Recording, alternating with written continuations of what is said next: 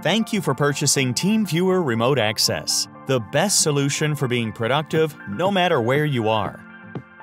After your purchase, you receive an email from TeamViewer which contains your license in form of a link. Click Activate Now and sign in to your TeamViewer account. Or create a new one by entering your email address and choosing a password.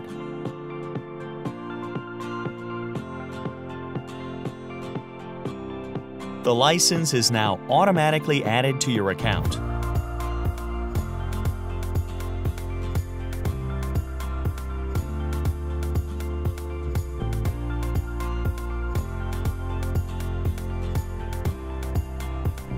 Next, go to TeamViewer.com and download the full version of TeamViewer. Install TeamViewer on all of your devices, both the endpoint computers that you want to connect to and the local computers that you want to connect from. During the installation, select Install and Company Commercial Use, then click Accept.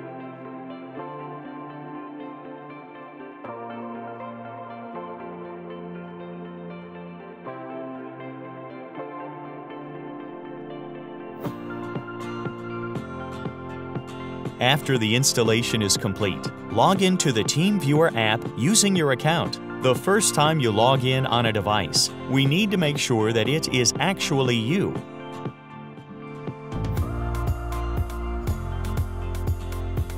We will send you an email that allows you to add the device to your trusted devices.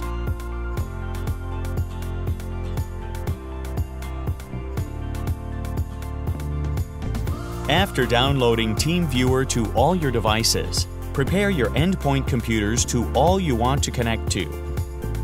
After you have successfully logged in, go to the TeamViewer options. Now, go to the Security tab and choose a personal password. You will need this password later to connect to the endpoint computer. Close the options and note down the ID under Your ID in the Remote Access tab. That's it! Your endpoint computer is all set. Now, sign in to TeamViewer on the local computer that you want to use to connect to your endpoints. Go to the Remote Access tab. To add your endpoint device, click Add Computer and enter the ID you noted before. For password, enter the personal password you chose earlier.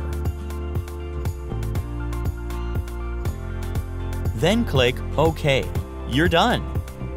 You can now connect your licensed computer by selecting it and clicking Connect. Thank you for using TeamViewer Remote Access.